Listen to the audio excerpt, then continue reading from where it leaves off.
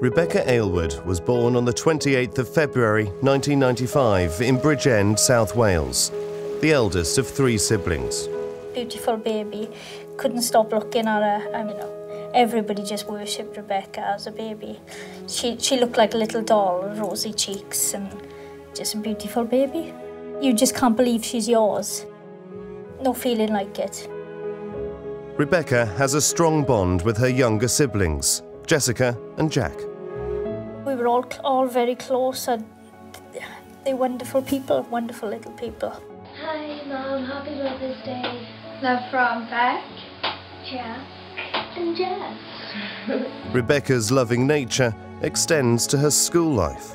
If anybody was getting bullied, she would be devastated. She would really, really be upset and feel their pain. She was like my best friend. Like she was always there for me and like always supported me through the things that I had.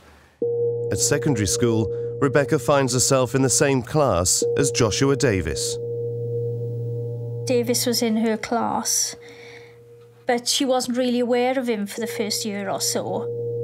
Supply teacher Lorraine Sturringer teaches both Rebecca and Josh in her classes. He used to sit with the quiet boys, Becca sat with the quiet girls, and they used to get on with their work. He was the same, and I remember, you know, he responded well to praise. If I praised him for his work, he would be very pleased. I didn't notice anything really odd about him. Forensic psychologist Dr. Kerry Nixon works with Merseyside Police, profiling serious violent offenders. She's been analysing Josh's behaviour in school. A very clever, clever young man who um, charmed pretty much everybody. Teachers, his friends, he was known as the leader of the group. Um, he was an attention seeker. People said that you would always know when Davies was in the room uh, because he would want the attention on himself. Like Josh, Rebecca is a diligent, hard-working student with academic ability. She had great plans for her future, but she wasn't very vocal about it. You know, she just kept it. She was a model student in class. Becca had a really bright future in front of her. She was really smart. She wouldn't show it, but when she went there, had to think or work, she was so sharp and so fast and so much talent, so much mind. Uh, she was really, really intelligent. Constantly into books and all her grades, they were A or A star. Rebecca and Josh become close friends, and she invites him to spend time with her family. Saw him walking down the drive. They, they both got off the school bus together, straight from school, and I, I thought, oh, he, he looks really nice. You know, he, he looked gentle and happy, smiling, and he came in, and everybody in the family liked him. He was really charming and polite, just, just a really nice boy. Psychologist Emma Kenny works with victims of domestic abuse in her clinics and has been looking into this case. Any mother has questions about their children's choices and partners. If they're a bad kid, if they're not doing well at school, if people in the local area are negative about them. But in Davy's case, nothing demonstrated those factors. He succeeded academically, he was outgoing, he was popular, considered a leader, he was in class top sets. This was the perfect boyfriend for your daughter. But there appears to be another side to Josh's personality. A lot of people did like him, but again, at the same time, a lot of people disliked him. Like with the figure that he wanted to be, like the leader. Obviously, he was going to have a few enemies, and some people were intimidated by him as well. Davies had a massive ego, and he was a real control freak at the same time. Everything had to be under his control. Just thought he could beat anyone, was smarter than anyone, was just better than anyone at anything. He couldn't, he would just succeed at it because he was Davies. Davies's behaviour displays some very narcissistic traits. He wanted to be in charge. He liked being the leader. He liked getting people to do what he wanted them to do. Josh makes it clear to Rebecca that he wants them to take their friendship to the next level. The October um, 2009, they, um, she said, um, he wants he wants us to get together, and I said, what do you mean by that? And he's your boyfriend, and she said yes.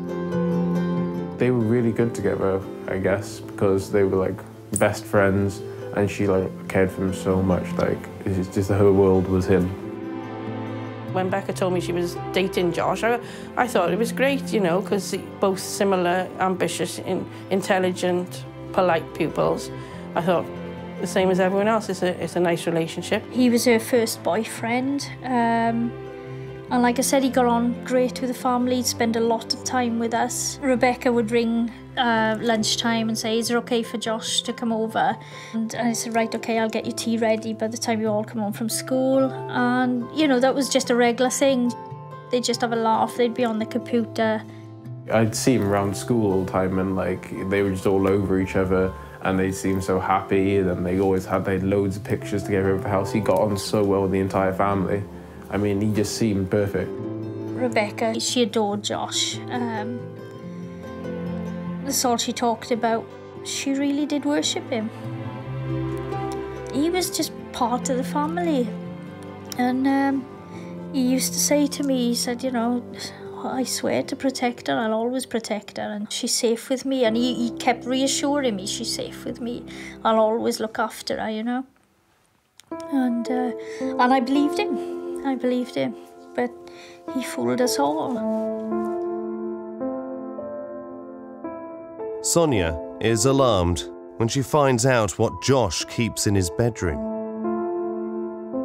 He had uh, antique guns and knives and very unusual things in his bedroom. When I first saw the knives, I thought, well, there's a lot of knives in here, but I didn't think anything of it. I just thought it was a collection for him.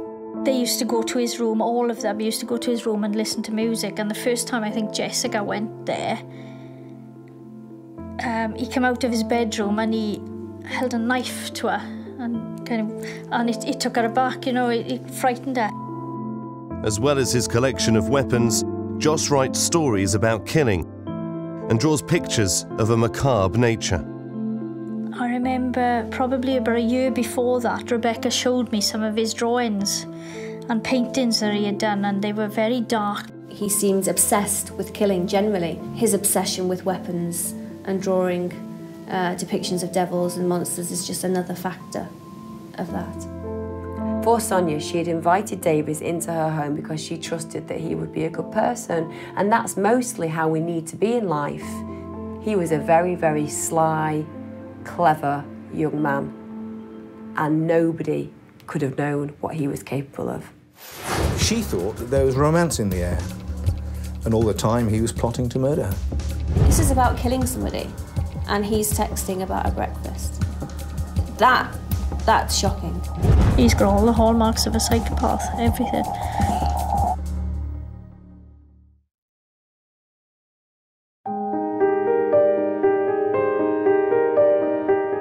It's January 2010, and 14 year old Rebecca Aylward has been dating classmate Joshua Davies for three months. But this love affair is about to turn sour. He'd spent that weekend with us, um, the end of January, I think it was, the last week of January. And um, he said, just before he left, his mother picked him up and he said, that's, that's the best weekend I've ever had in my life. I've really enjoyed because they really did have fun that weekend, all of them, you know. They, that's all they did was laugh and they were taking funny photographs of each other. Rebecca painted his nails. He insisted on her painted, painting his nails and and um, it was just great. And, and then he said his goodbyes to us as he usually did. A few hours later, Davies dumps Rebecca without explanation. Rebecca, she was really upset, and I asked her what was the matter, and I said, It's him, is it? And she said, uh, Yeah, and I said, What? Have you finished? And she said, Yes. He, he just finished finished the relationship out of the blue. Couldn't understand why, and I said, Well, why? Has he got another girlfriend or anything? And she said, I. She was really baffled by him, as was I. Psychologist and relationships expert Emma Kenny believes Davies knows exactly what he's doing. To me, that says that he enjoyed the drama. He enjoyed making Rebecca feel bad. He knew that he had power over her feelings and he was willing to put that to negative purpose. Davies's attitude to Rebecca changes dramatically. After they'd broken up, he um, told everyone that uh, she was pregnant. Yeah, he used to do anything, like the worst things to run her into the ground.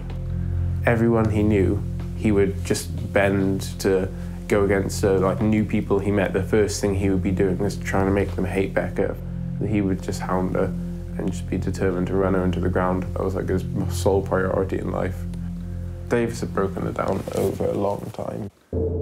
Dr. Kerry Nixon explains how bullying is an all too common form of domestic abuse in teenage relationships. We know that often teenagers will be involved in domestic abuse situations and often will um, bring in other people as part of that abuse.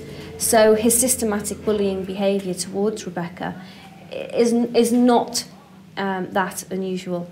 Of course, the events that followed is, is unusual. Wary of Davies's behaviour, Rebecca makes a chilling prediction to her friends. Becca often thought he would try and kill her. She was like terrified of him. He seemed to obsessively hate Rebecca. Um, there was a comment by one of his friends that, oh, you know, forget about it, soon you'll be leaving school and you'll never have to see Rebecca again. And he made a comment that her being aware that she was living and, and breathing was enough to, um, to anger him. So obsessive ruminations and thoughts about Rebecca um, that led to him planning to kill her. Davies starts telling his friends about his sinister plots. Every single way you can think of killing someone, he, he would have mentioned doing this in some way to her. Like this bridge in Aberkenfig, he wanted to push her off and um, make her jump off maybe. Because she couldn't swim, he'd just leave her there to drown. Davies's friends pass off his comments as just teenage bravado. But Dr. Kerry Nixon believes Davies was deadly serious. I think his friends thought that this was all, you know, a, a bit of a joke and it was if you were to kill Rebecca, how would you go about it?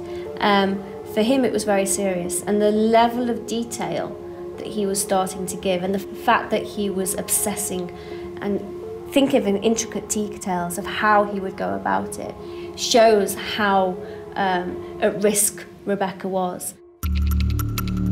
Journalist Bob Arthur has been reporting on murders across South Wales for almost 40 years and covered this case.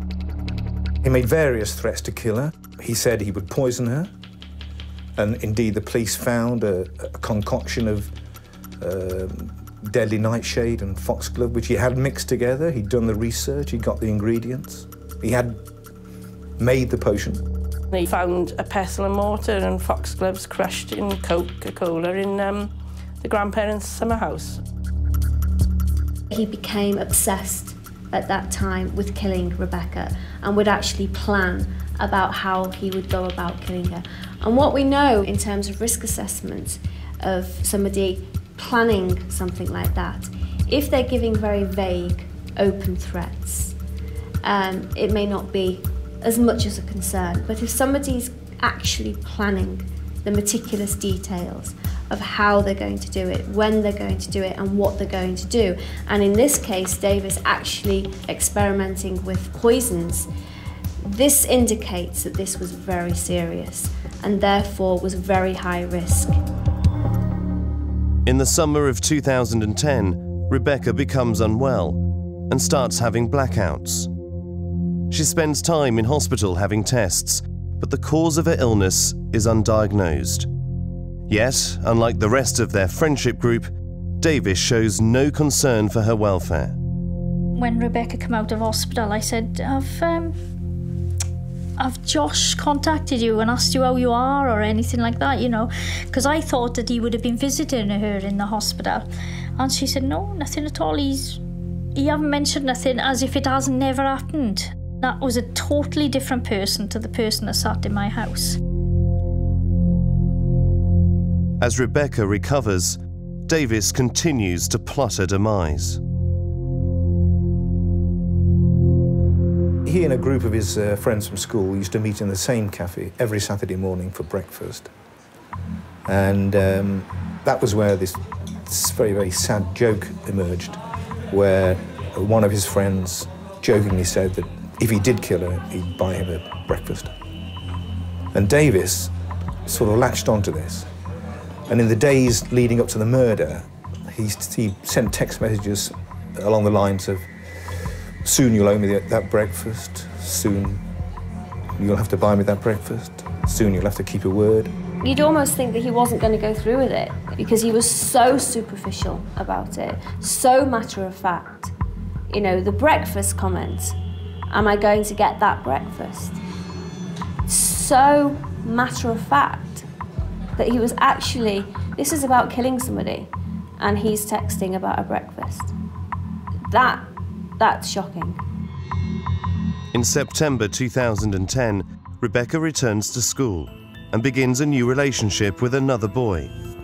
But Davies appears jealous and starts showing an interest in her again. They talked a few times about getting back together and things, but like he would just sometimes switch back into hating her, but it was more and more staying on the liking of her. She would say, I still care about him because no one's ever looked after me and been like that with me before, so I'd love that again. So she would have gone back to him any time, and she was so hopeful that that time they'd be together. Davies knows Rebecca wants to get back with him, and he appears interested in rekindling their relationship. When you look at the different journeys that Rebecca and Davies were taking, you couldn't be further polarities. Here we have a young girl desperate to be with her boyfriend, in love, wanting to do whatever it took to make it work, genuinely, authentically caring for this boy. On the other side, you have Davies, a boy who all the while is talking to friends about how he intends to harm her, what he'd like to do to her, and ultimately how he intends to destroy her. On the evening of Friday, the 22nd of October, Davies asks Rebecca to meet him in Aberkenfig and implies that they're going to get back together. She was talking to him on the internet uh, uh in the night and she'd show me the conversation. She'd be sitting next to me and I'd say, oh, look, he's changed his profile picture. And I said, what's he planning then? And she said, I know, I was curious about that. Now, every time that he does something unusual, he, he changes his profile picture. Like if he was going to ask somebody to go out with him or if he was going to do something different, very, very different. And the picture he's got up is of the actual woods.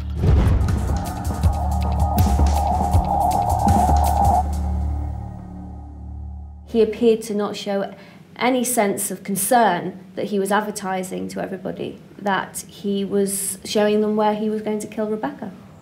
The next morning, Rebecca is up early in anticipation of her date with Davies. She's really excited about meeting him and fetching him back and hoping that he persuaded her that he, you know, he, want, he was going to ask her back out and and she thought that he was going to because she she assured me he changed and he was back to the old Josh, the, the nice Josh.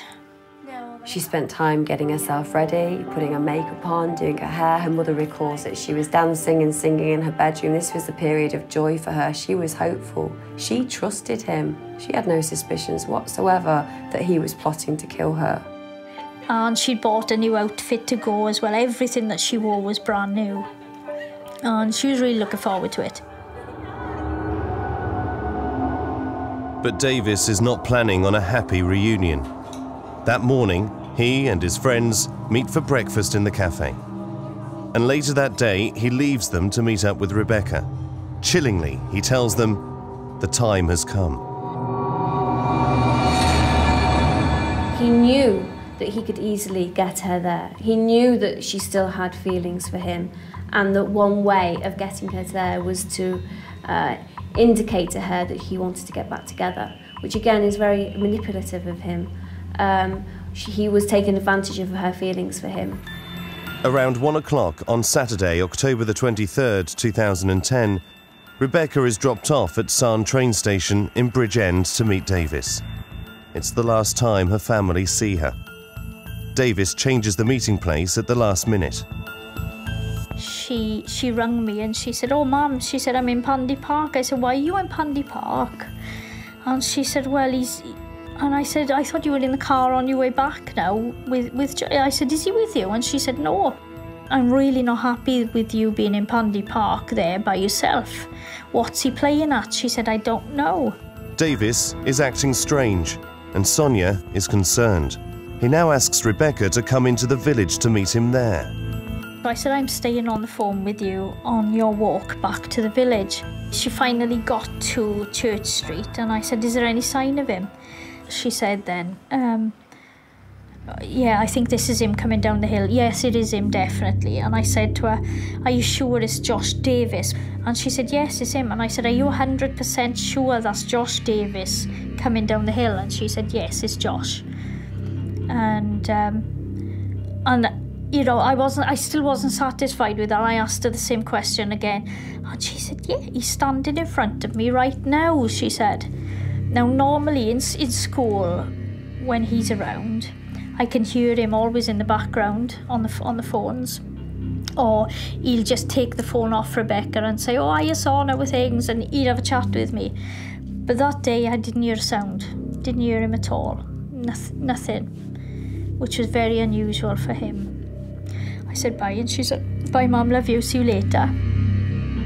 It is the last time Sonia speaks to her daughter. She thought there was romance in the air, that they were meeting to maybe rekindle their relationship, become boyfriend and girlfriend again. And all the time he was plotting to murder her.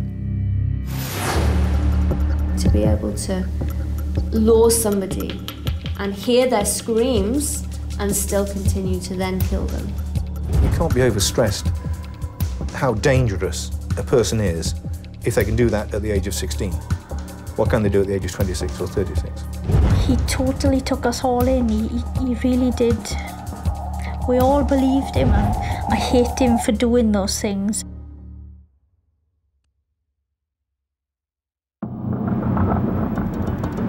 On October the 23rd, 2010, 15 year old Rebecca Aylward meets up with her ex boyfriend Joshua Davies, hoping to rekindle their relationship.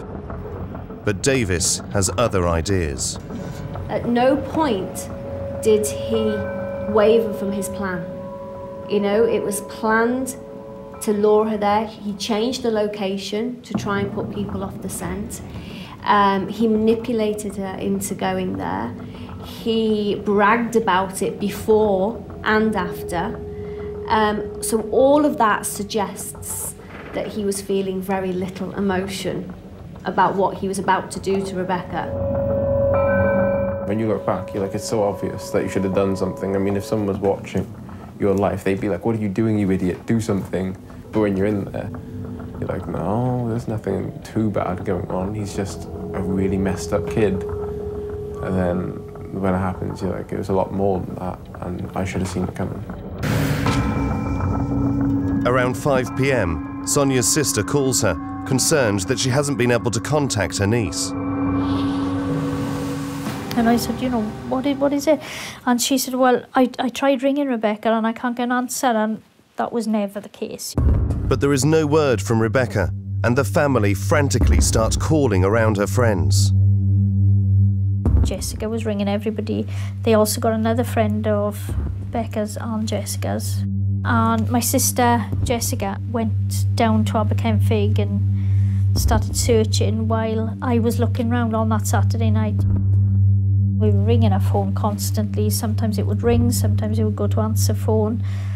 And and I knew that, that it hadn't run out of, you know, the battery wasn't low or anything like that. And I just couldn't understand why she wasn't answering. There is no sign of Rebecca, and Sonia calls the police and reports her daughter missing.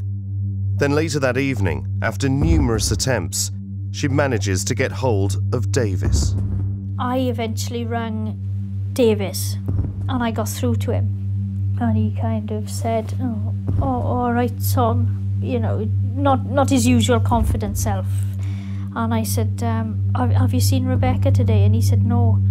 Uh, no, I've been up my grand's all day. He said, I've been here all day. But Davies is lying to Sonia. The truth is that that afternoon, after meeting up with Rebecca, Davies spends the afternoon with his two friends. He posts on Facebook that he is chilling with friends just a few hours after Rebecca is last seen. Then he and his best friend spend the evening at Davies's grandmother's, watching television. He is there when he speaks to Sonia. It's shocking and it is rare. You don't see traits like that in general offenders.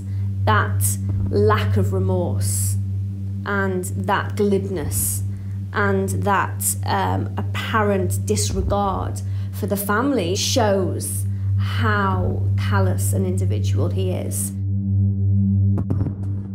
I said, have you spoke to Rebecca today? And he said, yeah. He said, she was in Aberkenfig and I rang her, he said, and said that I'm stuck at the moment in my grandmother's house and I can't get back for another two hours. He kind of stumbled and I said, I, I need to get this straight now because I've got the police involved. I said, I've reported this to the police. Are you telling me now that it was not you standing in front of Rebecca when I was talking to her on the phone? And he said, no. He didn't seem bothered. But I thought that he was, at the time of speaking to him, I thought he was concerned and he was in a bit of shock that she had gone missing, you know. And um, I didn't think nothing of it then. I said, if you hear anything, let me know straight away. And he said, I will. As news of Rebecca's disappearance breaks, friends post their concerns on Facebook. Davies himself comments. He says he feels sorry for her mother, but Davies knows exactly where Rebecca is, and so do his friends. As Sonia spends the night, desperate for any news, police continue their search. And then the next morning, one of Davies's friends cracks and tells his parents that Rebecca may be hurt. They call the police. And she said he's just gone out on a rapid response. And when she said them words, I knew there was something wrong. But all the time, Davies remains silent. In my work with violent offenders, um, you see offenders on a daily basis who don't show remorse, but often they don't show remorse and it's violence with peers. So, as part of gang activity, as part of um, drug taking, drug dealing activity. But when it's such a, um, a murder like this, where it's somebody that he knew, that somebody who did nothing to deserve it, to have that level of um, glibness, that level of no remorse, of lack of regard for the family, it is quite rare. It's really indicative of a, of a very disturbed, violent offender. Sonia's worst fears are about to become a reality. When I arrived at my sister's house, um, there was an officer there waiting. And um, just by the expression on his face, I knew what had happened. And I think I shouted at him, Have you got him? Have you got the person that did it? And he looked at me and he said, Who? But then shock hit me then, and I just had to run to the bathroom, you know.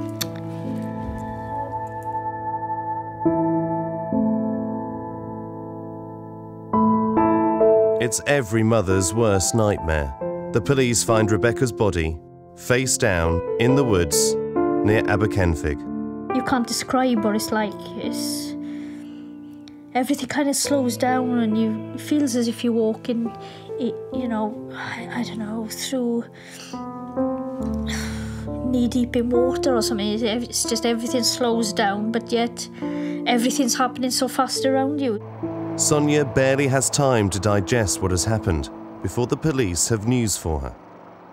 They informed me that they'd arrested two boys, and one of them was Joshua Davies. And my first reaction to the police, well, it, wouldn't be Josh. And they all shook their heads, uh, you know, at the same time. And they, they said, we believe it was Joshua Davies that did it. And I just couldn't believe it, couldn't believe it. When the police told me they'd found the body, I immediately thought Davies. I said, they said, is anyone that you think? And I said, Davies, Davies, 100%, just no one else. When I saw it on the news and that someone had been arrested, I immediately, straight away, thought it was Josh. There was no doubt in my mind that I thought it was him. The police agree, and Davies is charged with murder. The dark taboo that Rebecca's killer could be her schoolboy boyfriend sent shockwaves around the country. The trial begins in July 2011. Well, Swansea Crown Court does see a lot of high-profile murder cases. It's just a really, really sad case and one that will definitely not just stick in my memory, but will stick in the memory of, of, the community. But Davies doesn't seem to have a care in the world. He dressed like you know like a teenager going for going for their first job interview. You know, maybe not dressed in a, in in a suit, but throughout the trial he was very kind of vague in his expressions. It seemed like if things didn't really phase him, or he, he wasn't he wasn't paying attention to what was happening. It all seemed to be washing over him. He showed very little interest in his own murder trial. There were some sessions he didn't even attend.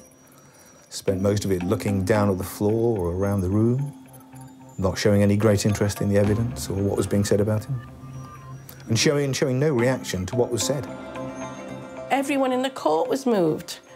Everyone was full of emotion, even all the officials. You know, it was, it's an emotional thing when a young person is brutally taken, and yeah, he had no, there was no feeling. And when I, when I looked at his eyes, I thought, there is nothing. It's like he had no soul. The shock of seeing a 16 year old A grade student with a promising future standing on trial for murder makes this case so chilling. His ambassador described him as well educated, well liked, caring. He described him as caring. Uh, he was tall, good looking, he had girlfriends, um, but just throws it all away. In court, Davies denies Rebecca's murder and blames his best friend for her death. He claims he and Rebecca had played a joke on his friend, which had gone wrong, and his friend got angry and killed her with a rock. It was horrible watching him on the stand, reenacting what he did. The barrister asked him, Could you explain to me how the other boy did it? And he did. And watching him do that, you know that it was him doing it. That was hard. The court hears how Davies constructed his plan and then executed it that fateful afternoon. Rebecca was less than five foot two inches tall. She weighed less than six stone. He was quite a tall lad for his age, reasonably strong. Uh, she wouldn't have been any, in any uh, way able to defend herself. The manner in which he killed her on that day was very cold, and very calculated. High levels of violence were used in the murder. The court is told how Davies killed Rebecca, but the defendant shows no emotion. She was screaming, and then, yeah, then he used a rock, and yeah. Yeah. Davies caves Rebecca's skull in with the rock, then leaves her face down in the woods. He calls his friends, who are waiting for him outside the woods, and when asked if he's still with Rebecca, chillingly, Davies replies, with a laugh, define with. Presumably meaning that, yes, I am with her, but she's dead, so am I really with her? I'm with her body. Which is a, a, a, a bizarre response from somebody who's just killed a young girl to try and make a joke of it. He was even trying to make light of the situation. And that comes across as, as beyond cold and very indicative um, of antisocial personality. Davies then invites his best friend to see the body. But then to tell his friend where he was and to invite him to the location and to show him the body is uh, it's just uh, uh, very, very difficult to understand what on earth was going through his head. Uh, and he told his friend that he'd also tried to break a neck and told his friend that he was far more difficult than he, somebody might imagine to break somebody's neck. After trying to break her neck, Davies tells his friend that she was screaming. And then I picked up the rock and started to hit her with it. The worst part was feeling and seeing her skull give way. He actually brags about how difficult it is uh, to try and break somebody's neck, which takes a real, uh, unbelievable level of callousness and no feeling whatsoever to be able to lure somebody and hear their screams and still continue to then kill them by repeatedly bashing them over the head.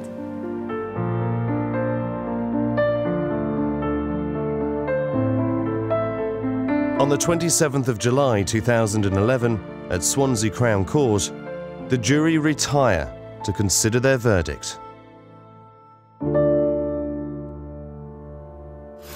In almost 40 years of reporting on murder cases and other serious cases, I think Joshua Davies is one of the most dangerous people I've come across. He's got all the hallmarks of a psychopath, everything. Davies killed her daughter for absolutely no reason, purely for his own gratification. It's the first time I've been here since the police brought us up. I just feel empty. It's a horrible, horrible place.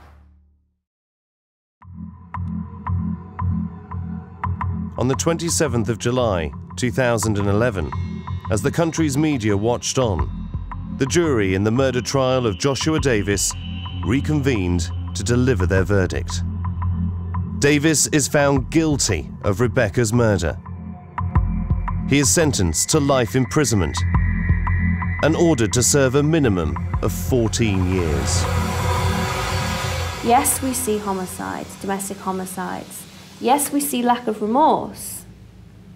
You know, yes, we've seen teenagers who have killed within a domestic abuse context. But this level of planning, this level of superficiality, this level of uh, glibness and intention seeking and disregard for people's feelings, we don't see often. Davies had been taken in by Rebecca's family, who treated him almost like a, a son of their own. But his response was to murder their daughter. He totally took us all in. He, he really did. We all believed him, and I hate him for doing those things. And I, I just, you know, I, I just can't, uh, I can't believe he could have done that. This horrific murder is every parent's worst nightmare. Popular schoolboy Davies seemed to have a bright future in front of him, but he throws it all away with the brutal murder of Rebecca. Davies killed her daughter for absolutely no reason, purely for his own gratification. He didn't care about her, he didn't offer her any dignity. He just killed her because it was something he wanted to do. And to know that your child meant nothing in those moments, that's something that will take a lifetime to get over. Unless Davies admits to the murder and explains his motives, we may never know why Rebecca was killed. Dr. Kerry Nixon believes that Davies shows signs of deep seated psychological issues. Davies's traits and behaviour, both prior to the murder, during the murder in, in the manner he killed her, and his subsequent behaviour following the murder, in terms of showing friends the body, etc. All of those behaviours and his mannerisms and things that he did are indicative of antisocial personality. He's got all the hallmarks of a psychopath, everything. He's a very callous and dangerous young man. It can't be overstressed how dangerous a person is if they can do that at the age of 16. What can they do at the age of 26 or 36? It's very chilling to see a 16 year old boy displaying these traits. There are, and research that I've conducted, there are teenagers who have engaged in domestic homicides. However, that level of lack of remorse is rare. For a, boy of that age to carry out a murder when he's got absolutely no motive for doing so is very, very disturbing. In almost 40 years of reporting on murder cases and other serious cases, I think Joshua Davies is one of the most dangerous people I've come across. Those closest to Rebecca and her family still find it hard to come to terms with her murder. Her sister and her brother, they loved her so much. She was the oldest and they looked up to her unbelievably. They, they like literally wor- worshipped the ground that she walked on. He knew more than anyone how much those two loved her and how much her mum loved her. I Can't stand them. I can't believe it. I hate him every day for it. Later on in hindsight, you start thinking about things you could have noticed or... But yeah, it is, it's absolutely chilling. It's probably the worst thing imaginable to, to someone you know to, to be capable of doing something like that.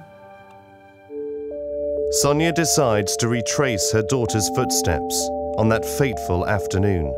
It's the first time she's been back since the police took her there in the days after her daughter's brutal murder.